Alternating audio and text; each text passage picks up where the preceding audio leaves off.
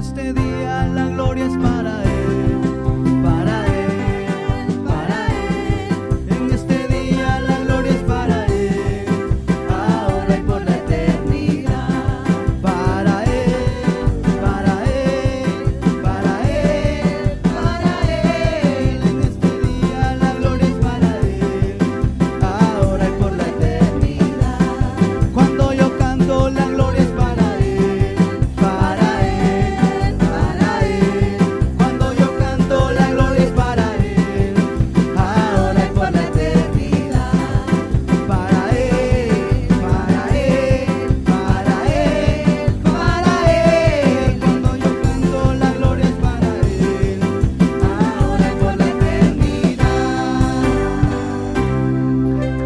Amén. Un aplauso fuerte a Cristo. Aleluya.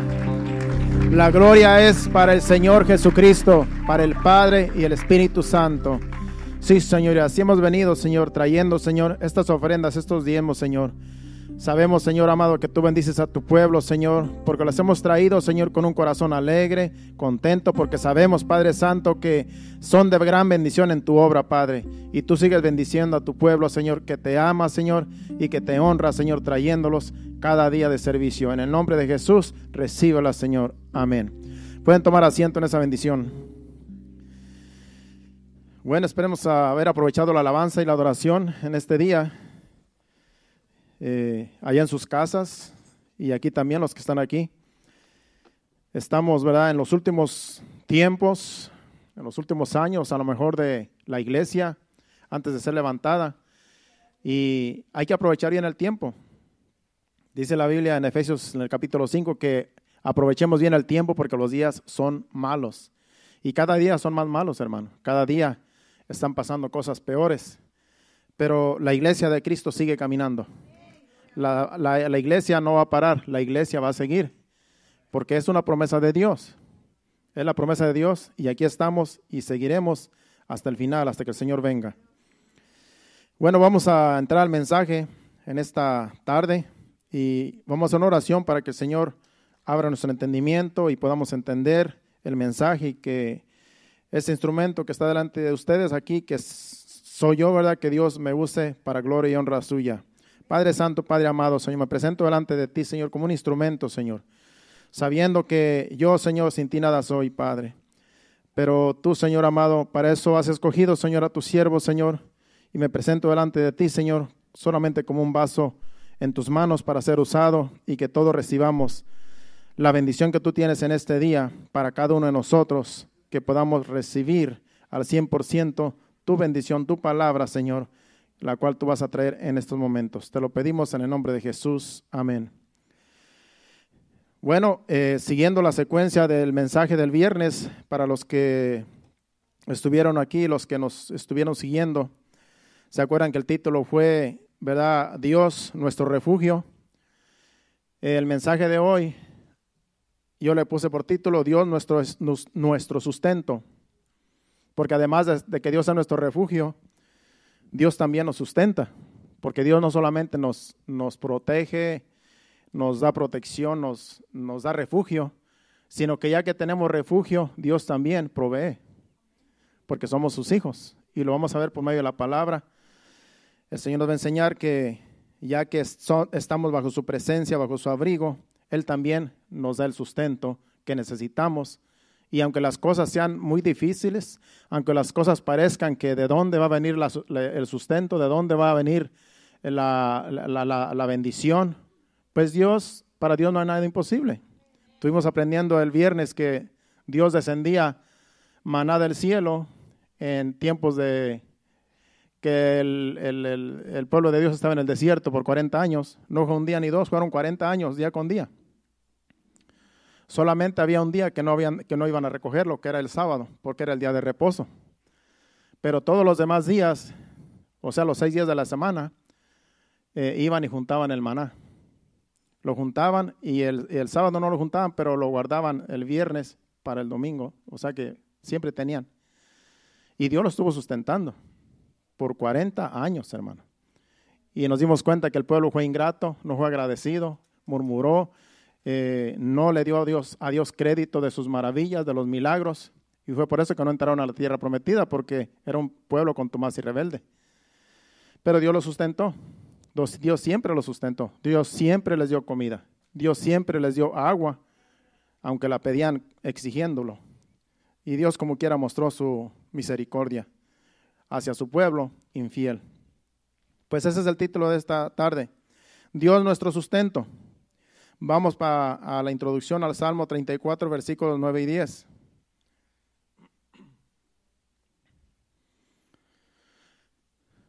Ahí está en la pantalla, dice, temed a Jehová vosotros sus santos, pues nada falta a los que le temen. Los santos somos nosotros, los santos somos los justos, que por causa de Jesucristo somos justos. Entonces todos aquellos que venimos al arrepentimiento, que somos hijos de Dios, somos, se nos conoce como santos, pueblo santo. Entonces dice que temamos a Jehová. Temed a Jehová, vosotros sus santos, pues nada falta a los que le temen. Nada, nada falta a aquellos que le temen, aquellos que son santos delante de Dios. Al decir que nada falta, quiere decir que no tendremos necesidad de ningún bien. Que Dios siempre nos va a sustentar de un modo u otro Dios va a suplir. Y que en esta escasez, ¿verdad? Que está pronto a, manifestarse, porque ahorita todavía son principios de dolores. Se dice que mientras vaya pasando el tiempo va a haber escasez, no va a haber trabajo, va a haber eh, mucha, va a haber hambre y, es lo que se está eh, pronosticando. Pero los hijos de Dios no tenemos que temer, porque tenemos a Dios como refugio y a Dios como nuestro sustento. Si Dios en el desierto bajaba el maná todos los días, para Él no, es nada imposible que nos traiga comida a la casa. Y nos vamos a dar cuenta cómo, a, a, Eliseo, este, perdón, a Elías, Dios lo sustentó, mandando, mandando hasta unos pájaros, unos cuervos de los que usted ve por ahí negros que andan por ahí haciendo maldades. Dios los usaba para llevarle comida a, a Elías que estaba por allá en un arroyo. Entonces Dios puede usar a quien sea, hasta los propios animales, para llevarle comida a sus hijos. Pero claro, está hablando de eh, justos, del pueblo santo, de los hijos de Dios, aquellos que tienen fe en Dios, aquellos que se refugian en Dios y que creen en que Dios es su sustento. Así es que sigamos creyéndole a Dios, sigamos con esa fe de que si somos hijos de Dios, nada nos va a faltar. Venga lo que venga, Dios sabrá cómo sustentarnos. No es que estemos exigiendo, sino que le estamos creyendo a Dios. Lo que Dios dice en su palabra no es mentira. Lo que pasa es que muchos no lo creen. Como decía el pueblo, ¿acaso Dios podrá poner mesa en el desierto? ¿Se acuerdan lo que estuvimos aprendiendo el viernes? Así decía el pueblo, ¿acaso va a poner Dios? Está bien que sacó agua de la roca y bebieron nuestros ganados, eh, corrieron ríos de la roca. Y está bien, pues ya lo vimos, pero ¿acaso es posible que ponga una mesa en el desierto para todos y nos dé carne, nos dé comida? Y Dios lo hizo solamente para mostrarles que Dios estaba ahí, aunque después murieron por su rebeldía y desobediencia y por su incredulidad. Pero así era el pueblo, era contumaz y rebelde. Que la iglesia no seamos así, hermanos. Que la iglesia hayamos aprendido del pueblo rebelde de Dios que nunca entró a la tierra prometida por incredulidad. Que nosotros le creamos a su palabra. Por muy imposible que se vea, Dios si está escrito en la palabra de Dios, si está escrito aquí, Dios no miente. Dios no miente. El hombre mentirá, pero Dios no. Lo que pasa es que hay quien, quienes no le creen. Y ese es el problema. Que hay mucha incredulidad, incredulidad aún en el pueblo de Dios, aún en la iglesia. Por eso tenemos que afianzarnos cada día de Dios. Cada día tenemos que agarrarnos de Dios, de sus promesas. ¿Cómo vamos a creer en Dios? Leyendo la Biblia, escudriñando su palabra. Dice Jesucristo, dice, escudriñad, las escrituras porque a vosotros os parece que en ellas tenéis la vida eterna. Y ellas dan testimonio de mí, dice Jesucristo. Entonces, por medio de la palabra es que nosotros eh, nos afianzamos de esa fe. Es como nosotros le, creemos a Dios, porque ella da testimonio de que Dios es real. Bueno, ya leímos uh, el 9, ahora vamos al 10. El versículo 10 dice, los leoncillos necesitan y tienen hambre, pero los que buscan a Jehová no tendrán falta de ningún bien. Aquí pone a los leoncillos como que eh, ellos necesitan y Dios con todo y eso también tiene cuidado de, los animales. Hay otro salmo donde dice que los alimenta. Dice, pero los que buscan a Jehová no tendrán falta de ningún bien. Aquellos hijos de Dios que buscan a Dios, que le creen, que tienen fe, dice que no tendrán falta de ningún bien. Al decir que no tendrá falta ningún bien, es que no nos faltará nada de lo necesario. Hay quienes dicen, no, yo como hijo de Dios, yo tengo que tener en abundancia, tengo que ser rico, tengo que ser prosperado, porque yo soy hijo de Dios y tengo que esto y tengo que el otro. Pero aquí dice que no nos faltará nada, ningún bien. No dice que nos va a enriquecer y nos va a prosperar, porque hay quienes tienen esa mentalidad de que, de que Dios los prospere y los enriquezca y, y llega grandes cosas con ellos. No, hermanos, ya con que tengamos techo y abrigo hay que estar contentos, como dice el apóstol Pablo. Así es que esas son las promesas de Dios. Nada falta a los que le temen. Aquellos que creen en Dios, aquellos que creen en sus promesas, nada nos faltará. Él tendrá cuidado de nosotros en tiempos difíciles. Y vamos a entrar, vamos ahora también al Salmo 37, 25, donde también habla de, de que Él es nuestro sustento. Y luego nos vamos a ir al 28 de ese mismo capítulo, para entrar a una historia enseguida. Salmo 37, 25 dice, Joven fui y he envejecido, y no he visto justo desamparado, ni su descendencia que mendigue pan. Aquí el salmista dice, yo fui joven y he envejecido, yo no he visto un justo que, que, que, Dios lo haya desamparado, ni a sus hijos que mendiguen pan, a su descendencia. O sea que eh, aquí el salmista dice, él afirma de que Dios va a sustentar aquellos justos, aquellos que creen en Él, aquellos que tienen fe, que Dios está con ellos. Y dice, nada falta a los que le temen. El otro versículo por este dice, joven fui y envejecido, y no he visto justo desamparado ni su, ni su descendencia que mendigue pan. No he visto a alguien que teme a Dios, que Dios lo haya desamparado. Porque eso sería una vergüenza, ver a un hijo desamparado y, y este, desechado por ahí. Dios no desampara a nadie, hermanos aunque a veces uno se enferma, aunque uno a veces pasa por eh, aflicciones, pero con todo y eso no es que Dios nos haya desamparado, es que a veces uno está pasando por esas aflicciones para uno eh, agarrarse más de Dios, para uno decir, Señor, sin ti, ¿qué voy a hacer? ¿Qué va a hacer de mi vida? Y a veces esas cosas pasan para uno estar más cerca de Dios, porque cuando todo nos va bien, hasta se nos olvida que Dios está de nuestro lado. Y nos acostumbramos a lo que tenemos, nos acostumbramos, acostumbramos a que siempre tenemos salud, siempre tenemos trabajo y todo va bien. Y a veces se nos olvida que hay que darle gracias a Dios por lo que tenemos y por lo que Dios nos da. Y a veces creemos que por nuestras fuerzas hacemos todo lo que tenemos y que por nuestras fuerzas eh, somos bendecidos y no le damos la gloria a Dios. Y Dios quiere que le demos la gloria a Él, porque de Él viene todo. Si no tenemos salud, ¿de qué nos sirve? No podemos trabajar sin buena salud. Si no tenemos trabajo, aunque tengamos buena salud, si no tenemos trabajo, no podemos hacer nada. Por eso toda buena dádiva viene de Dios. Y hay que darle gracias a Dios de todo lo que nos da y de todo lo que ni nos merecemos que nos, que, que nos da siempre. Ese es la, un ejemplo de que este salmista dice, ¿verdad? que joven fui envejecido y nunca he visto un justo desamparado ni su descendencia que mendigue pan. Y el 28 dice de ese mismo capítulo, dice el versículo 28, también hablando de las promesas de Dios. Dice, porque Jehová ama la rectitud y no desampara a sus santos, para siempre serán guardados, mas la descendencia de los impíos será destruida. Dios siempre estará con aquellos que son rectos de corazón. No los va a desamparar. Él siempre nos va a guardar. Pero la descendencia de aquellos impíos, aquellos que, se vuelven, que le vuelven las espaldas a Dios, va a perecer, va a ser destruida, porque Dios no puede ser burlado. Pero aquellos hijos de Dios que viven en integridad, Dios no nos va a desamparar. Dios tendrá cuidado de nosotros, porque es una promesa de Él. No porque lo merezcamos, porque no nos merecemos ninguna bendiciones, hermanos, somos malos. Pero si le creemos a Dios, si vivimos para Él, si día con día le agradecemos, todo lo bueno que Él ha sido para con nosotros, Él tendrá cuidado de nosotros porque nosotros lo honramos. Y también lo honramos con lo que Él nos da, con las ofrendas que aquí se traen.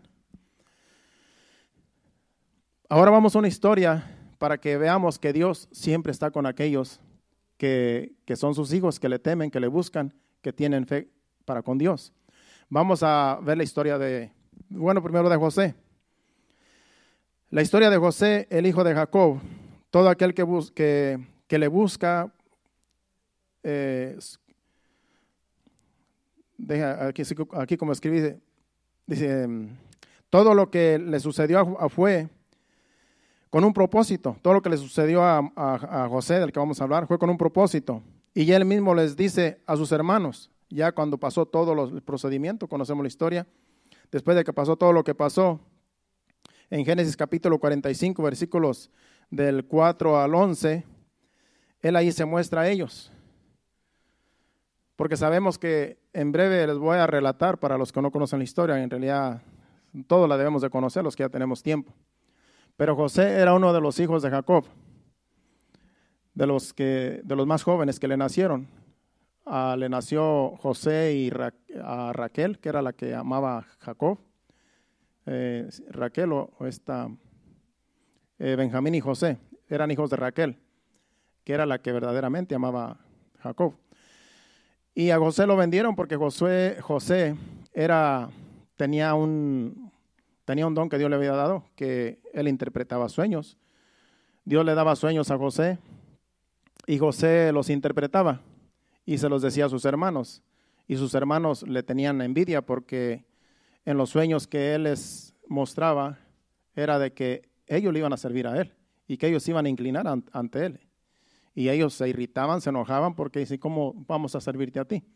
Pero era algo que iba a suceder en el futuro y ellos no lo entendían. Y como siempre le tenían envidia y siempre no lo querían, en una ocasión ellos andaban cuidando las- el ganado allá, las ovejas en el campo, y José y, el papá de y Jacob, que es el papá, de, el papá de ellos, mandó a José a que fuera a ver a sus hermanos. Y cuando llegó allá, se quisieron deshacer de él, lo quisieron matar.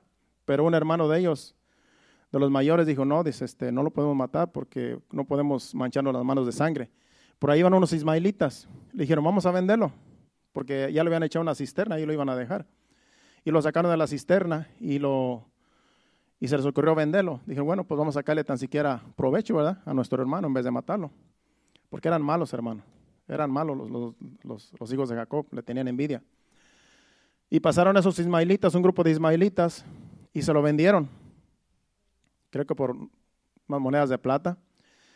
Y, y, llegó, y lo llevaron a Egipto. En Egipto, pues sucedieron muchas cosas con José.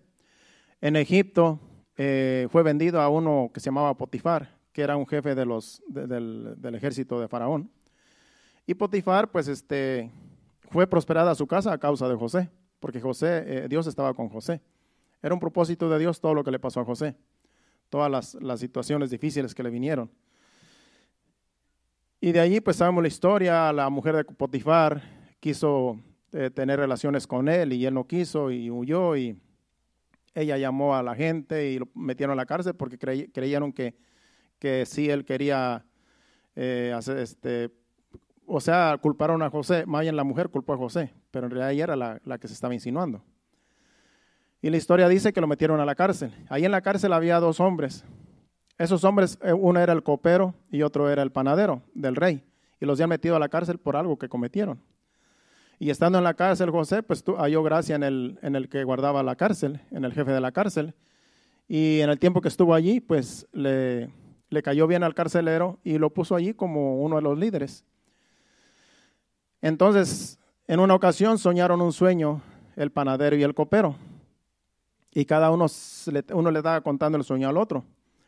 Y luego José escuchó que estaban hablando de esos sueños y, y dijo, no, pues yo sé lo que significan los sueños y a cada uno le dio su interpretación.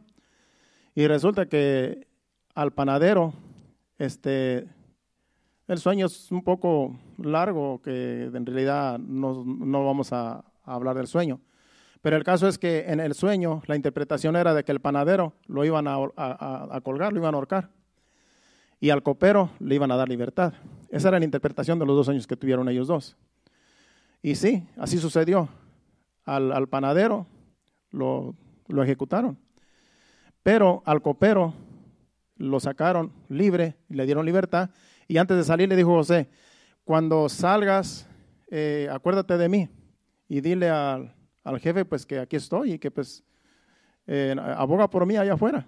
Pero se le olvidó al, al, copero, se le olvidó, ¿verdad? Pues ya estando afuera, ya que le importaba, ¿verdad? Ahí se quedó José por otros dos años, hermano, dice la Biblia, por dos años más. Dice, después de dos años, sucede que tuvo un sueño el faraón y el sueño era pues bien, era, lo turbó.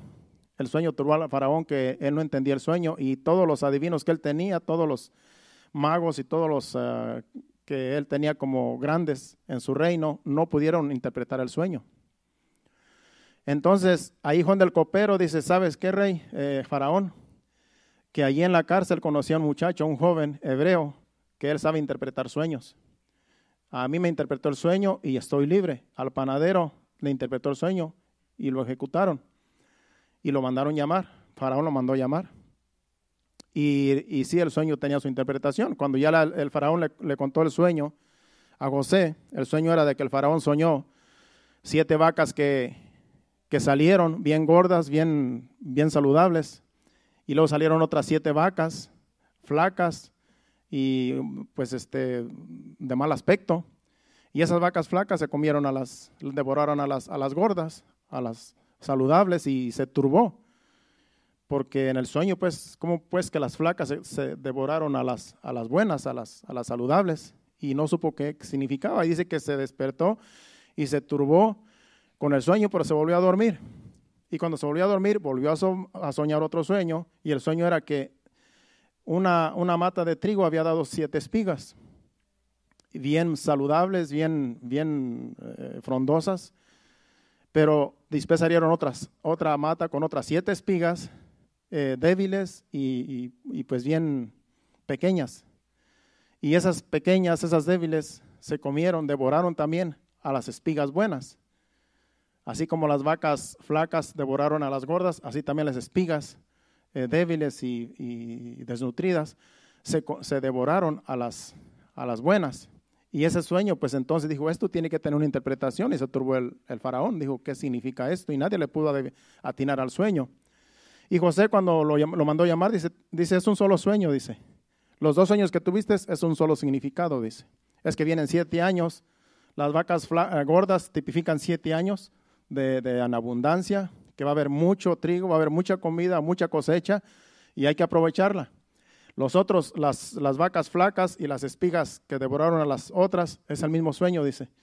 Es que va a venir siete años después y esos siete años van a ser malos.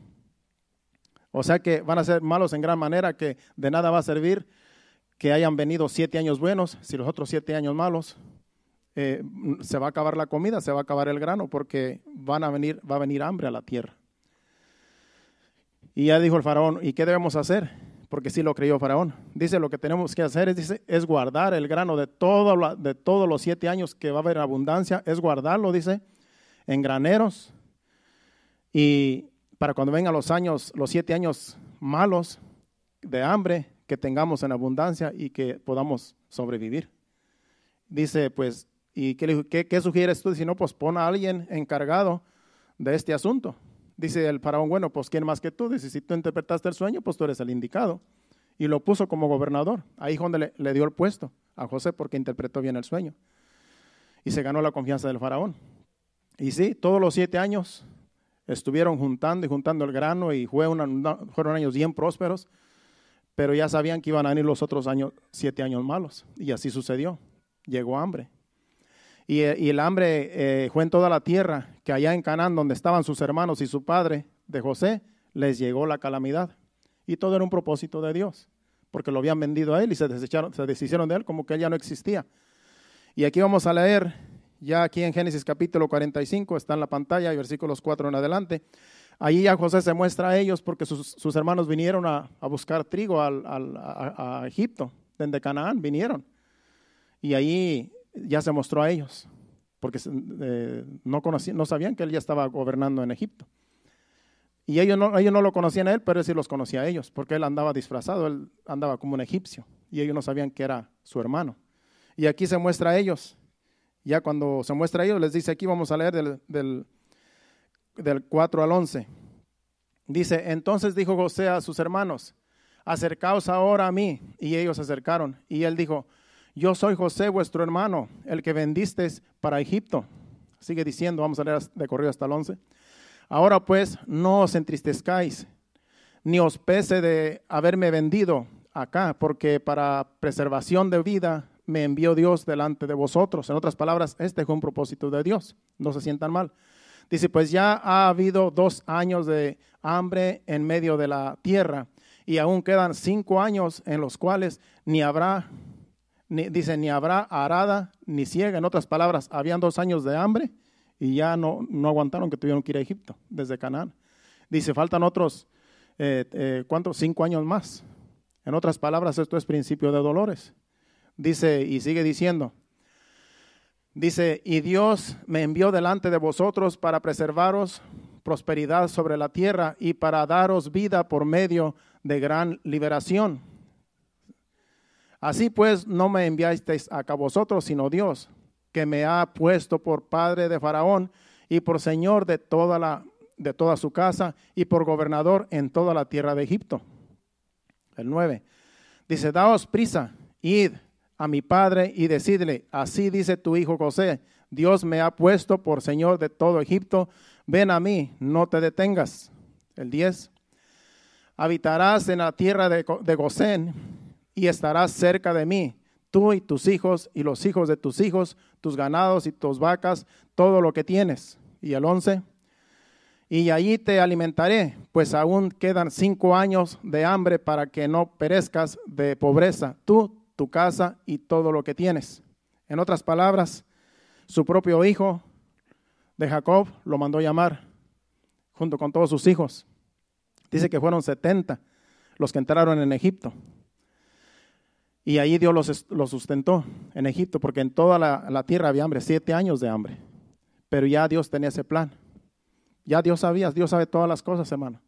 Lo que está pasando ahora, lo que se pronostica, usted escucha en el YouTube y en las redes sociales, va a venir crisis, va a venir esto, va a venir lo otro, pero no os amedrentéis, dice la Biblia. La iglesia no tiene que estar con temor, ¿qué, qué va a pasar? ¿Qué vamos a comer? ¿Qué va a pasar? Hermanos, estamos bajo sus alas, estamos bajo su abrigo. Él sabrá cómo. Usted no se salga, no se vaya por allá a dar la vuelta a ver qué ofrece el mundo. No, porque el mundo no ofrece nada, hermanos, menos ahora usted manténgase debajo de las, alas del Altísimo. Y Dios tendrá cuidado de nosotros. Y como dice Job, dice, si muero, pues si me mata, pues que me mate. Como dijo Job, dijo, aun si Dios me mata, dice yo, seguiré creyendo en Él.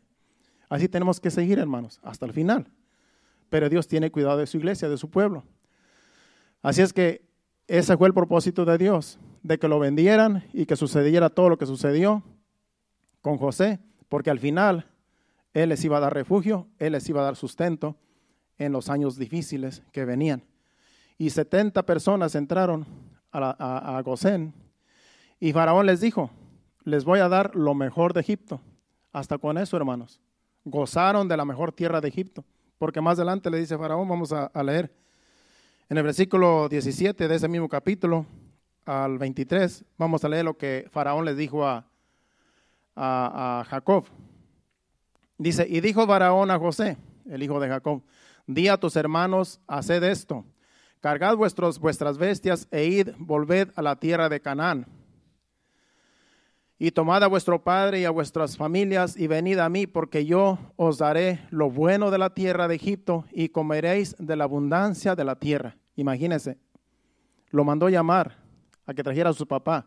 Dice, les voy a dar, les voy a dar de lo mejor de Egipto, de lo, donde abunda eh, donde hay abundancia, de la abundancia de la tierra, dice, y sigue diciendo, dice, y tú mandas hacer esto, dice, tomaos de la tierra de Egipto carros para vuestros niños y vuestras mujeres y traer a vuestro padre y venid.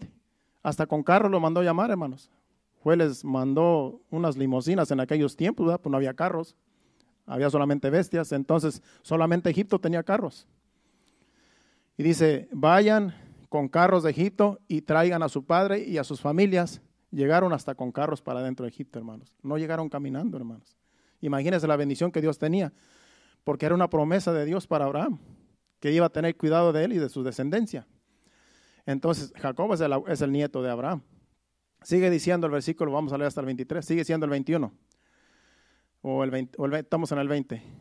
Dice, y no os preocupéis, si dice el 20, y no os preocupéis por vuestros enseres, porque la riqueza de la tierra de Egipto será vuestra. Imagínense, estaba, le estábamos, le estaba eh, ofreciendo lo mejor de Egipto. Las riquezas de la tierra de Egipto será vuestra, por causa de José, que le interpretó un sueño y, le, y, le, y, le, y lo puso como gobernador para que preservara, preservara todo el alimento que iban a necesitar. Dice el 22 o el 21. Dice el 21, dice, y lo hicieron así, los hijos de Israel, y les dijo José, y les, y les dio José carros conforme a la orden de Faraón, y les suministró, le, les suministró víveres para el camino. En otras palabras, les llevó carros y les dio alimento porque era un camino largo, desde Canaán hasta Egipto. Eran días, semanas a lo mejor. Y vinieron comiendo con víveres, con los alimentos y en carros, hermano. Dice el 22. Dice, a cada uno de todos ellos dio mudadas de vestidos y a Benjamín dio 300, 300 piezas de, plata y cinco mudas de vestidos, porque Benjamín era el hermano de José, el pequeño, el que más amaba a él, porque era su hermano de carne, de su hijo de su eh, hermano con él, con su, de, de Raquel, su madre. Entonces eh, le dio más a su hermano, claro. Dice, y sigue diciendo el 23. Dice, y a su padre, que también amaba mucho, envió esto. Dice, diez asnos cargados de lo mejor de Egipto y diez asnas cargadas de trigo y pan y comida para su padre en el camino. Estas fueron las bendiciones que les dio José desde Egipto para traer a sus padres y vinieran y gozaran de la tierra donde solamente había alimento. Y ahí estuvieron, hermano, 400 años, sabemos la historia. Lo que pasa es que ese rey, eh, cuando ya murió ese faraón, dice la Biblia en la historia, que vino un faraón malo, que fue en el tiempo de Moisés, donde dice que eh, se volvió en contra de, los hebreos y mandó matar a todos los niños que nacieran de las egipcias, de las uh, hebreas. Todo varón lo mataban porque no querían que siguiera creciendo, porque dijeron, si crece, dices, porque era una promesa de Dios que se multiplicaran. Y se multiplicaron, hermanos, parecían conejas, hermano las mujeres, pues. Tuvieron hijos y hijos y hijos. Entonces dijeron los egipcios, este pueblo se está multiplicando tanto, dice, que si un día, así como están creciendo, si un día se vienen en contra de nosotros, nos van a despojar, nos van a sacar del país y se van a quedar con, con Egipto, dice. Están creciendo mucho. Les dijo a, a las parteras, porque tienen partera las hebreas, dice, todo varón que nazca, mátenlo, échenlo al río. Y dice que las parteras tenían temor. Ahí las menciona en, en, en, en, uno de los capítulos. Y dice que las parteras este, dejaban que nacieran los niños. Y cuando venían y decían los, dice, ¿por qué les preservan la vida a esos niños? No es que las hebreas son tan robustas, dice que cuando venimos ya lo han tenido. Y parece que cuando lo tenían no podían matarlo. Porque el, como que la ley era que en cuanto nacieran los, los tiraran al río. Y entonces las, las, las, estas mujeres, dice que Dios las bendijo a estas mujeres que son mencionadas y eran dos mujeres Dios las bendijo porque les preservaban la vida a los niños. Pero con todo y eso mataron muchos niños, porque acuérdense que era mucha gente, era mucha, mucha, mucho pueblo. Y ahí es donde nació Moisés, donde lo tuvieron por tres meses sus padres, y ya cuando lo tuvieron dijeron, no, no podemos tener más este niño porque como quiera se van a dar cuenta. Lo echaron a una canasta, la mamá le echó una canasta y por ahí le encontró la, la sobrina del, del, faraón y lo agarró como de como si fuera de ella, como que lo rescató del, del río para ella y, y, vino a ser como su hijo. Y ahí viene la historia de Moisés, que después saca a ese pueblo de Egipto. Todo era un propósito de Dios. El propósito de José, de que lo vendieran y que pasó lo que pasó, era un propósito de Dios. También el propósito de Moisés, que nació allí en el reino de Egipto y luego este, pasó lo que pasó, se fue allá con las ovejas, allá con su suegro, y luego regresó para atrás porque Dios lo mandó para Egipto a, sacar a su pueblo porque ya eran esclavos, por 400 años estuvieron ahí, porque ya el faraón, como les digo, ya tuvo temor de ellos y los quiso exterminar y los obligó a que trabajaran para él como esclavos. Y de ahí ya sabemos que lo sacó Moisés, de eso estuvimos hablando el viernes. Bueno, sigamos, dice, en el capítulo 46 Jacob le, le, le ofrece sacrificios a Dios, ya cuando, porque él, para él moverse, Dios tenía que darle órdenes a Jacob. Acuérdese que todos, lo que es Abraham, eh, Isaac y Jacob, eran los patriarcas y ellos no hacían nada si Dios no les decía. Y en el capítulo, eh, el, ¿cuál es el capítulo que menciono aquí? 46, aquí Jacob, eh, Dios, habla con, Dios le habla a Jacob, en el capítulo 46. Y le dice, no temas, dice, desciende Egipto, dice. Desciende Egipto, dice, porque allí yo haré de ti una gran nación. Dice, en total los hijos que entraron ahí de, todo de, Jacob, como dice, ya dije hace rato, fueron 70. Aquí escribí yo. Entonces, era una promesa de Dios que estuvieran allí y que allí crecieran y se multiplicaran, pero después yo los iba a sacar otra vez, porque ya le había dicho a Abraham que iban a estar, iban a ser esclavos su descendencia por, más de 400 años, ya la otra vez también hablamos de eso. Y esa fue la historia de José con su pueblo, que Dios les preservó y les dio alimento en tiempos de hambre, porque Dios estaba con José y Dios estaba con Jacob y con las tribus, con sus hijos, y ahí estuvieron hasta que salieron de Egipto por mano de Moisés. Ahora vamos a hablar de, de otro hombre. Me queda media hora. Ahora vamos a hablar de Elías. Elías fue otro hombre que también en el libro de los reyes, también Dios lo sustentó. Porque Dios, como le dije, Dios no hace excepción de personas. Dios a sus hijos que le buscan, que son íntegros, que viven en santidad, Dios tiene cuidado. No importa de dónde seamos, acuérdense que somos el pueblo de Dios. No hay nacionalidad, no hay cultura. Todo aquel que viene a Cristo viene a ser hijo de Dios y Dios lo trata como hijo. Así es que aquí no hay diferencia para Dios.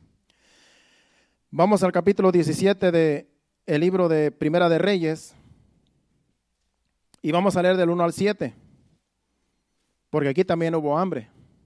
Aquí también hubo hambre por, por boca de Elías que dijo, por tres años y seis meses no va a llover. Y cuando no hay lluvia, hermanos, no hay alimento y hay hambre. Gracias a Dios que aquí sigue lloviendo. Ahí está lloviendo casi todos los días. Pero cuando no hay alimento, cuando no hay lluvia, no hay alimento, por lo tanto viene hambre a la tierra. Aquí Elías, ¿verdad?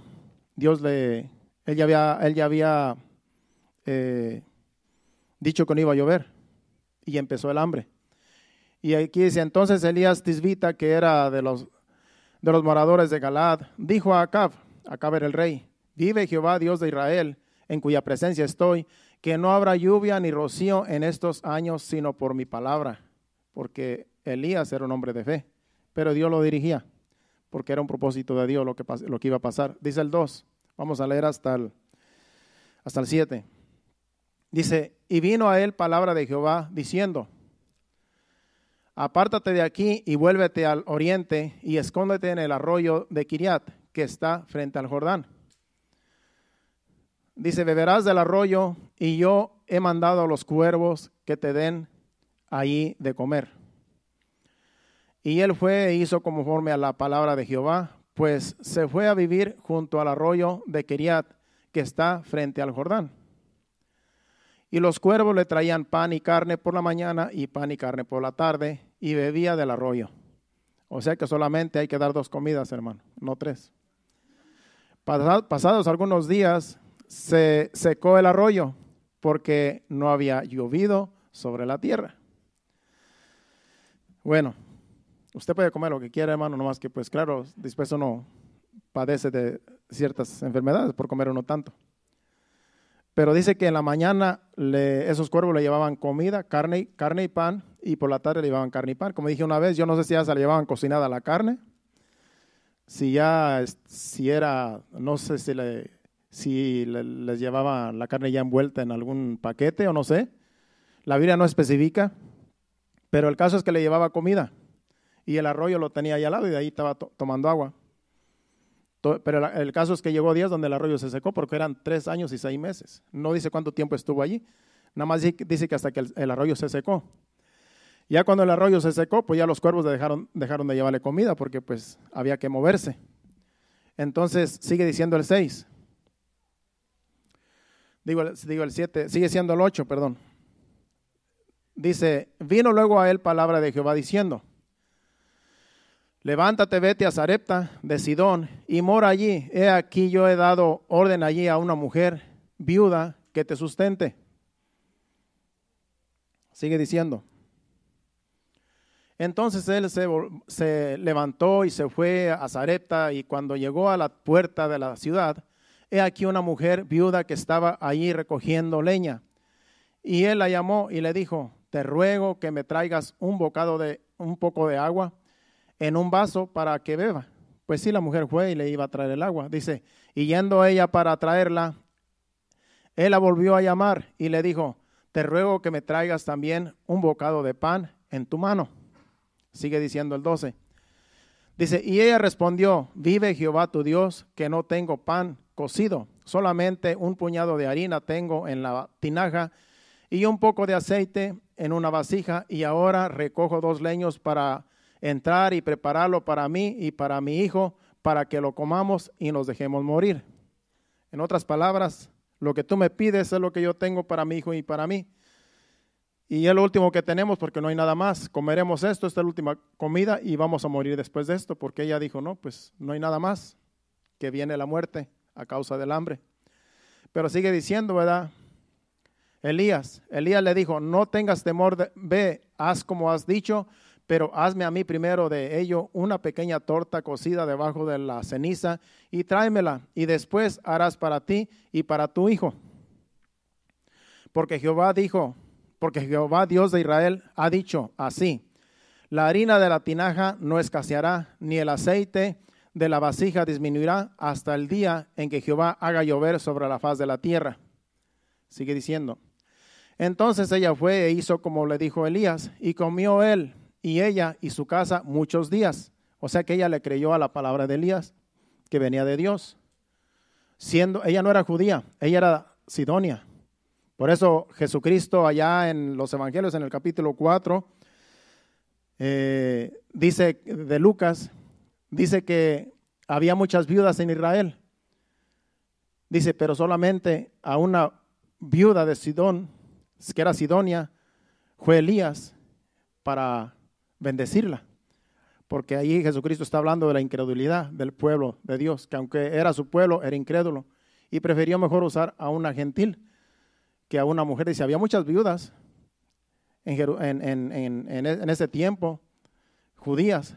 Dice, pero Dios escogió a una gentil, porque las hebreas parece que eran incrédulas, no le iban a creer. Y esta Sidonia le creyó. Y sigue diciendo, dice, y la harina de la tinaja no escaseó, ni el aceite de la vasija menguó conforme a la palabra de Jehová que había dicho por Elías. O sea que se cumplió, así como dijo Elías, así sucedió. Estuvieron comiendo de un poco de harina y de un poco de aceite, que era con la que se amasaba la harina para hacer pan. Y muchos días dice que hasta que llovió. No se dice, no dice si fueron años o meses, pero dice que hasta que llovió en la tierra no cesaba la harina de la vasija ni del ni, ni, el, aceite de la vasija, ni la harina de la tinaja. Dios multiplicando. Acuérdese que Dios es un Dios que multiplica. Jesucristo multiplicó los panes y los peces y le dio multitud, multitudes. Dios es un Dios que multiplica las cosas. Y ha habido muchos milagros que Dios ha hecho así. Una vez les conté que, un, que un pastor estaba, un pastor de México, estaba contando de que había escasez en ese tiempo, había estaba pasando México pues por pobreza, ha sido por allá en los años, no sé qué, a qué año fue, él, está hablando allí. El caso es que en esta casa había eh, una mujer pobre y ella tenía comida guardada en la alacena, tenía latas guardadas en la alacena. Y dice que esa mujer eh, que estaba, pues, no, no tenía trabajo, creo, no había, pues, de dónde sacar. Y dice que ella, esa mujer sacaba de esa alacenita botes y botes y botes de comida enlatada. Y dice que sacaba y sacaba y le dijo al pastor, este pastor que está contando, dice, pastor, dice, no le miento, dice, de esa alacenita que está allí, dice, yo he estado sacando muchas latas de comida, dice, y he estado comiendo por mucho tiempo, dice, y venga, le voy a enseñar. Dice, allá en el patio tenía un montón de botes, dice. Mire, dice, todos estos botes han salido de esa lacenita, dice. Y yo no sé cómo, dice, pero yo saco y saco y no deja de, y siempre hay allí. Dice, yo, yo la creí, dice, porque dice, pues tanto bote no puede caber en, ese, en esa lacenita. Pero así es Dios, hermano. Cuando Dios quiere bendecir a alguien, Dios multiplica. No se sabe de dónde, pero son milagros de Dios. Y Dios lo hizo en ese tiempo y Dios lo puede hacer ahora, porque Dios es el mismo ayer, hoy y siempre. Él no ha cambiado, Él es el mismo. Él no cambia en su palabra. Hay que creerle, hermanos, porque la fe de nosotros es la que mueve la mano de Dios, como dice un corito. Sigue diciendo, bueno, ahí, ahí para ese, ese, ese párrafo, pero vamos ahora a, otra, otro, a otras cosas que le sucedieron a Elías, porque acuérdese que Elías era de carne y hueso. Elías era como nosotros, dice Santiago, que Elías era un hombre eh, eh, eh, sujeto a pasiones como las de nosotros, dice. Pero dijo que no lloviera y no llovió, y luego dijo que llueva y llovió. Hablando de que Elías no era un hombre extraordinario, no era un hombre especial, simplemente que él le creía a Dios. Y él tenía también sus debilidades, él también tenía sus problemas como los tenemos nosotros. Se acobardó una vez. En el capítulo 19, aquí vemos que, que Elías se acobardó por esta mujer, esposa de el rey, que era, una, que era Jezabel, una bruja, una hechicera. Se acobardó porque le dijo, te voy a cortar la cabeza. Y, huyó, hermanos. Se acobardó. O sea que él también le, entró el miedo. Vamos a leer del capítulo 19, del 1 al 5. Y luego vamos a seguir leyendo los demás versículos. Dice, Acab, dice, dice, Acab dio a Jezabel la nueva de todo lo que Elías había hecho y de cómo había matado a espada a todos los profetas, porque si usted conoce la historia, Elías retó a los profetas de Baal, de del dios falso que ellos adoraban allá, los, la, la bruja esa tenía, tenía muchos profetas de ella que adoraban a Baal y le servían a ella. Y fue y los retó y le dijo a todo el pueblo de Dios, dice, bueno, dice, ¿para qué claudicáis en dos pensamientos? Dice, el Dios que descienda con fuego en el, en, el altar que vamos a hacer, en el sacrificio, dice, ese es el verdadero Dios. Y le dijo adelante todo lo, porque todo el pueblo también estaba con los Baales, hermano. Todo el pueblo de Israel se contaminó con los Baales, adoraba al, Dios Baal. Y, y, esta mujer tenía sus profetas, que eran profetas de Baal. Y ya sabemos la historia, que no descendió fuego del Baal que ellos tenían, no descendió fuego, fuego al, altar que ellos fabricaron. Y el altar que fabricó Elías solamente dijo una simple oración, Señor, que este pueblo crea, dice, que tú eres Dios, que tú eres real, desciende fuego del cielo y consume el holocausto con el sacrificio y hasta agua que le puso alrededor del, del, sacrificio. Y dice que el agua y todo se consumió el, el, holocausto y todo lo consumió con fuego Dios. Y ahí donde dijo, este es el Dios verdadero, a ese hay que adorar. Y dice que mató a 400 baales, él mismo. Güey los degolló. Elías, hermano. No sé cómo lo hizo, pero los desgolló a todos. Y luego viene y le dice acá, acá porque no estaba, la, no, estaba, no estaba su mujer ahí. Viene y le dice a su mujer Jezabel, le dio las buenas, las, nuevas de que lo que había hecho Elías con esos 400 baales que los degolló. Sigue diciendo el versículo 2. Entonces envió Jezabel a Elías un mensajero diciendo, así me haga los dioses y aún me añadan si mañana a estas horas yo no he puesto tu persona como la de uno de ellos. El 3. Viendo pues el peligro, se levantó y se fue para salvar su vida y vino a Berseba, que está en Judá, y dejó allí a su criado, porque Elías traía un criado. Dice el, 4. Y él se fue por el desierto un día de camino y vino, eh, y, vino y vino y se sentó debajo de un enebro y deseando morir, dijo, basta ya, oh Jehová, quítame la vida, pues no soy yo mejor que mis padres. Ahí dijo, desfalleció debajo de ese árbol. Y le dijo, quítame mejor la vida. Andaba huyendo de una mujer que le quería cortar la cabeza y luego quería que Dios lo matara. Por fin. Así somos, hermano. Así, así es el ser humano.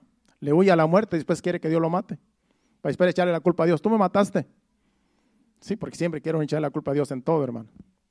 Dice, mejor quítame la vida.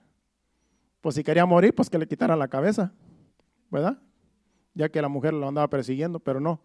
Él estaba huyendo de Dios, pero también quería salvar su vida, pero aquí le quería echar la culpa a Dios, así como el pueblo de Israel. Pero sigue diciendo, como Dios conocía su corazón, así como con Jonás, Dios trató también con Elías, también le tuvo paciencia, sigue diciendo en versículo 5. Dice, y echándose debajo del enebro, se quedó dormido, y aquí luego un ángel le tocó y le dijo, levántate, come. Estando él dormido, apareció un ángel, hermano, un ángel de Dios. Y ya el ángel había cocinado una torta. No sé de dónde trajo la comida, ni la torta, ni el pan, ni nada, pero ese ángel, como era un ángel de Dios enviado, ya le tenía una torta allí, calientita, y se la dio. Dice, y bebió, dice, entonces él miró y aquí una, en su cabecera una torta cocida sobre las ascuas y una vasija de agua, y comió y bebió y volvió a dormirse. En otras palabras, se sació y se volvió a dormir. Sigue diciendo el versículo hasta el 9. Dice, y volviendo el ángel de Jehová la segunda vez, lo tocó diciendo, levántate y come, porque largo camino te resta. Dice, y se levantó pues y comió y bebió y se fortaleció con aquella comida. Caminó cuarenta días y cuarenta noches hasta Oreb, el monte de Dios. Vamos a dejarlo ahí. Bueno, vamos hasta el 9 el 9.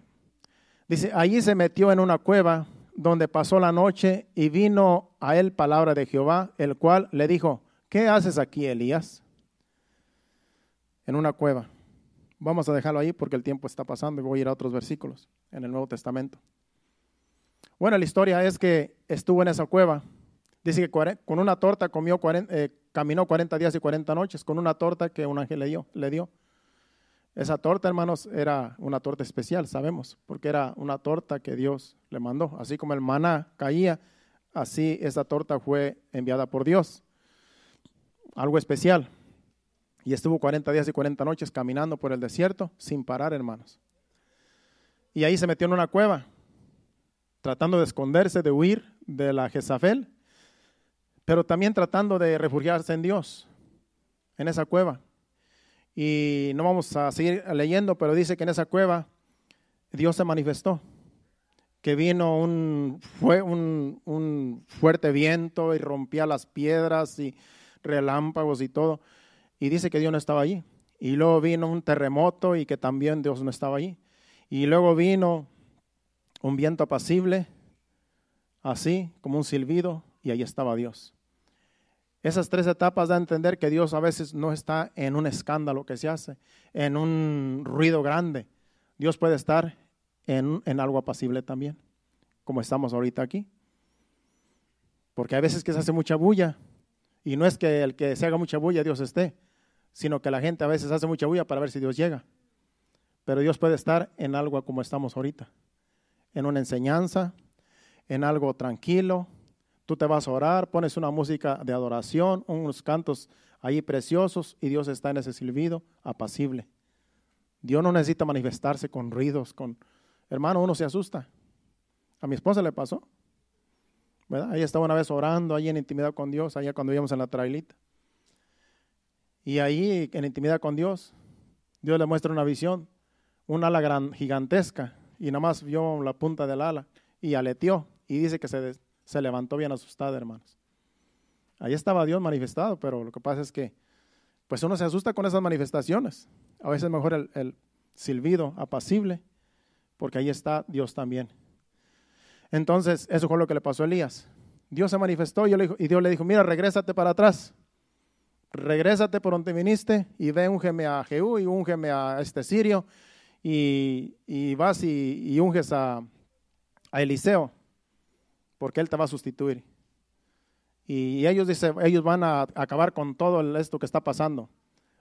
Dice, el que escape de la espada de este sirio, que ahorita no sé cómo se llama, eh, lo agarrará este Jehú, que también lo ungió como para gobernar. Y, lo que, y, el, que, y, y el que escape de la espada, dice, eh, yo me encargo de él. Y el caso es que, como dice ahí, y el que escape de la espada de Asael, Asael se llamaba, el capítulo 19, versículo 17, y el que escape de Asael, que fue uno de los que ungió, dice, Jehú lo matará, y el que escape de la espada de Jehú, Eliseo lo matará, porque Eliseo iba a sustituir a Elías. O sea que los ungió para que gobernaran después de él en ese tiempo. Y bueno, eso fue lo que sucedió con él. Esa es la historia de Elías. Aquí el punto de vista es, la enseñanza es que Dios sustentó a Elías. Aún en ese camino, en esa huida, Dios estaba con él y lo sustentó. En ese camino, en la cueva se manifestó y le dijo, regrésate, vuélvete para atrás porque no he terminado la obra contigo. Ve y úngeme a estas personas. Así es que Dios no, ha terminado con nosotros, hermano. Hay mucho por hacer. El largo camino nos resta. Apenas estamos empezando la jornada, hermanos. Así es que no piense usted que ya esto se acabó y ya cada quien para su camino, no. Seguimos en el camino correcto que es Jesucristo. Como Él nos vaya guiando, así vamos a seguir. Sigamos en, en, en, comunión con Dios, orando los unos por los otros, por la iglesia, por las necesidades, por las situaciones que están pasando, porque Dios está con nosotros. Él no nos ha abandonado, Él sigue con nosotros. Y Él nos va a sustentar en los momentos difíciles. Puede ser que, como yo escribí aquí, puede ser que como iglesia a veces nos falle la fe y así como Elías, puede ser que nosotros nos acobardemos ante las situaciones difíciles que se nos presenten. Pero si hemos sido fieles a Dios y hemos vivido en integridad con Dios a través de, dice, otras, dice, obrará Dios a nuestro favor. No importa con cualquier, en que pasemos por circunstancias difíciles, en cualquier circunstancia, si nos, mantenemos, si nos mantenemos fieles a Dios, Dios obrará a nuestro favor, Dios bendecirá a su pueblo. Nosotros lo que nos toca es mantenernos fieles a Dios, vivir en santidad, vivir para Dios, porque Dios tiene cuidado de su pueblo. Usted no se salga de, de, bajo su abrigo. Usted no se salga de bajo sus alas, porque Dios se encargará de sustentarnos. Él es nuestro refugio y Él es nuestro sustento. Vamos a terminar ya. Vamos a, en, en 1 Timoteo capítulo 6, versículos del 3 al 8.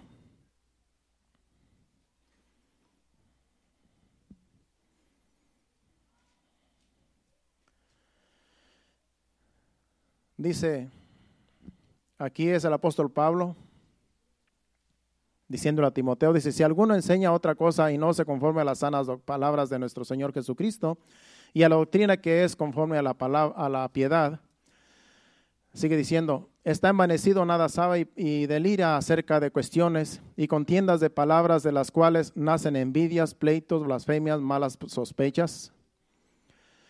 Disputas necias de hombres corruptos de entendimiento y privados de la verdad, que Toma la piedad como fuente de ganancia, apártate de los tales. En otras palabras, está hablando de personas que usan el Evangelio para sus propios bienes, que usan el Evangelio para ganancia deshonesta, de, para ellos enriquecerse, y estaban a la iglesia. Eso estaba pasando antes, ya no, porque muchas iglesias lamentablemente están cerradas. Dice, apártate de los tales, de aquellos que solamente le están sacando provecho al Evangelio, que se están enriqueciendo, sigue diciendo el versículo 6. Pero gran ganancia es la piedad acompañada de contentamiento. Es gran ganancia la piedad que viene siendo el Evangelio acompañada de contentamiento. En otras palabras, hay que conformarnos con lo que tengamos. No hay que usar el Evangelio para enriquecernos ni para sacar un beneficio propio. Dice, pero gran ganancia es la piedad acompañada de contentamiento. Porque, dice el versículo 7, porque nada hemos traído a este mundo y sin duda nada podremos sacar. Así que teniendo sustento y abrigo, estemos contentos con esto. Y el 10, el 9, perdón, y luego el 10. Porque los que quieren enriquecerse caen en tentación y en lazo y en muchas codicias necias y dañosas que hunden a los hombres en, en destrucción y perdición, porque raíz de todos los males, versículo 10, es el amor al dinero, el cual, codiciando algunos, se extraviaron de la fe y fueron traspasados de muchos dolores. Dice que nos, nos conformemos con lo que tenemos, con lo que Dios nos da. No tratemos de enriquecernos. No tratemos de hacernos grandes, porque Dios tiene cuidado de nosotros. Solamente hay que creerle a Dios. Y si Dios te ha bendecido, pues hay que bendecir a otros también, si se puede. Si Dios nos ha prosperado, pues dice eh, a Timoteo también el apóstol Pablo y a los ricos de este siglo, diles, manda que no sean ricos para sí mismos, sino que usen las riquezas para bendecir el reino y para otros que están en necesidad. Si Dios está bendecido, tú puedes bendecir la obra de Dios y puedes bendecir a otros que están en necesidad. Hoy vamos a recoger una ofrenda especial. Ya la recogimos, pero hay dos familias que queremos bendecir aquí en la iglesia, que pasaron por situaciones bien difíciles. Y nosotros a los líderes les mandamos un mensaje ayer para que traigan un sobre con lo que Dios ponga en su corazón traer y vamos a, dividirlo en dos familias, esta bendición. Porque Dios puso en mi corazón y en el corazón de mi esposa hacer esto. Esto no fue que hicimos una reunión todo, no, sino que sentimos en mi esposa. Yo sé que los líderes están de acuerdo. Y es una, una ofrenda especial de amor por estas necesidades de estas familias. Y, y hoy lo vamos a hacer.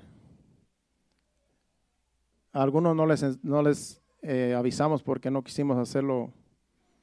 Ahora sí que no quisimos ser eh, como, como exigencia, pero a los demás confianza, como a los líderes, les dejamos saber. Pero les digo esto por si hay alguien aquí que, que llegó y que no sabía, y usted puede también apoyar estas dos familias, usted puede ir por un sobre y ponga en ese sobre lo que usted sienta poner. No tiene que ponerle su nombre ni quién lo da porque es mejor así. Y si usted ya le puso el nombre, pues no importa. Pero nosotros no nos vamos a encargar de quién dio más y quién dio menos, porque esto de esto no se trata de quién da más ni quién da menos. Eso se trata de quién tiene amor para con los demás. Y yo sé que unos pueden y otros no pueden, no se exige. Pero si usted siente dar para estas necesidades, Dios lo va a bendecir. Así es que eh, después del servicio, eh, se, lo dan a mi esposa. Ella trae ahí un, una maletita para echar los sobres y después lo vamos a contar hoy mismo y hoy mismo, se les va a dar ese dinero a estas, estas familias. Así es que les digo porque después, no pensaba decirlo, pero dijo mi esposa, dice, ¿por qué no lo anuncias? Dije, sí, porque después van a decir, estos están haciendo cosas escondidas. Y a nosotros no nos gusta hacer nada escondidas, hermanos, porque somos la iglesia de Cristo. Y aunque nos están escuchando por allá, en otros lugares, pero eh, son cosas que a veces se tienen que hacer y se, también se anuncian para que no piense que aquí estamos sacando provecho. Aquí, aquí nadie saca provecho.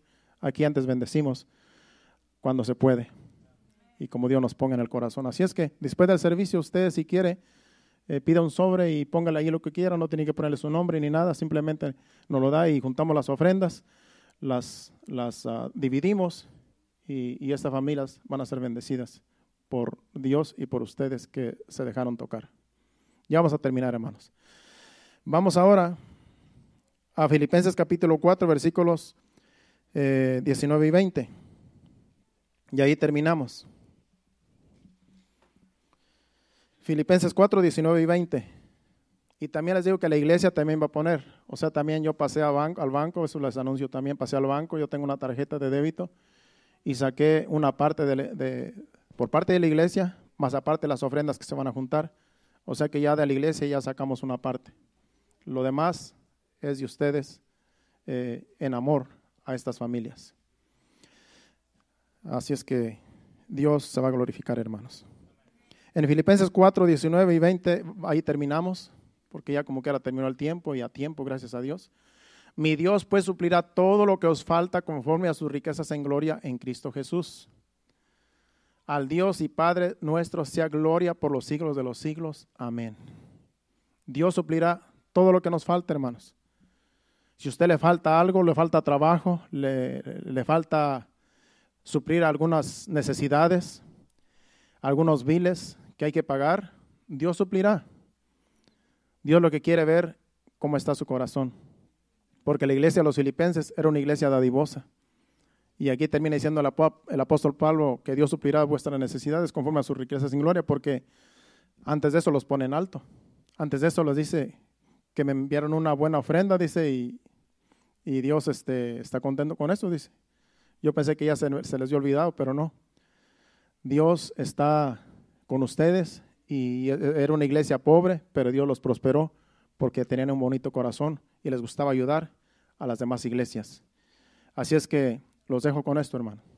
Dios siempre va a estar con nosotros, siempre que nosotros estemos bajo su abrigo, bajo sus alas, bajo su guianza, bajo su Espíritu Santo. Él siempre nos va a respaldar. Él siempre, hermanos. Y si algún día usted se enferma, Dios está con usted y estaremos orando. Estamos orando por unos enfermos que no han podido llegar y algunos ya se hicieron la prueba y no se las han entregado. Pensamos que iban a llegar hoy, porque ya salieron de ya salieron de todo, solamente están esperando la confirmación de que ya está negativo para que lleguen. Pero esperamos ya verlos el miércoles, primeramente Dios. Así es que eh, sigamos orando, hermanos, porque Dios está con nosotros. Dios tiene cuidado de nosotros. Él es nuestro sustento, Él es nuestro refugio, como dijimos el otro día, y Él no nos va a desamparar. Él seguirá con nosotros hasta el fin del mundo, dijo el Señor. ¿Qué tal si nos ponemos de pie y pasan los adoradores al altar?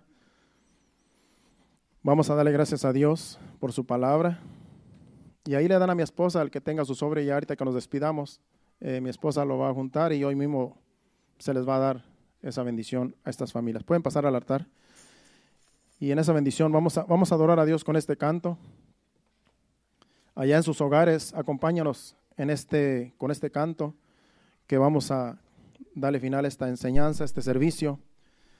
Y nos vamos a despedir en breve con la bendición de Dios. Incline sus rostros allí, cierre sus ojos. Vamos a adorar a Dios con este canto para despedirnos en breve. Sí, Señor, gracias, Padre. Gracias, Padre. Gracias por tu palabra, Señor. Gracias por tu Santo Espíritu, Señor, que nos guía, que nos dirige, que nos sustenta, Señor. Adore a Dios. Torre fuerte es el nombre del Señor. Torre fuerte es el nombre